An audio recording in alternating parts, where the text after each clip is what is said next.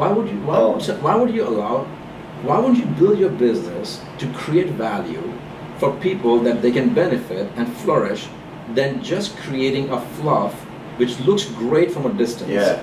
But then when the t- so the real test comes in when the, the real the judge of character comes in when there's a test.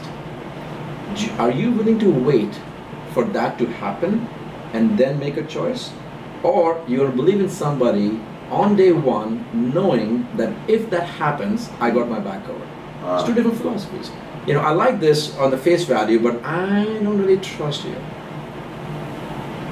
Maybe good or may not be so great at face value, but I know that if the if the fundamentals are there, integrity is there, I'll go with that any day of my life. So you're focused on hiring the values. you, you have to think deeper and bigger because if that's not who you yourself are, then you may surround yourself with, with opportunities that are only limited or for the face value today.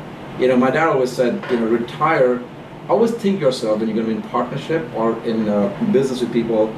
If you retired, or if you want to be on a beach, can you be with the families of the people that you are with at the beach yourself? Huh. So 10, 20 years from now, do I want to surround myself with my with my team and their kids?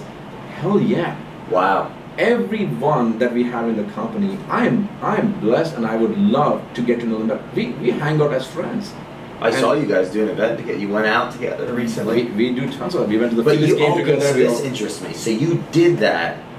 A lot of companies I see, they try to throw those events, like they're trying to use the event to make the culture. But you guys have the cultural, and then you do the That- event. that's interesting. Yes. And that's what I see when I watch you guys. We do it because we're celebrating our team. You're not doing it to try to push. It's like they buy the bean bags. All right, we got the culture now.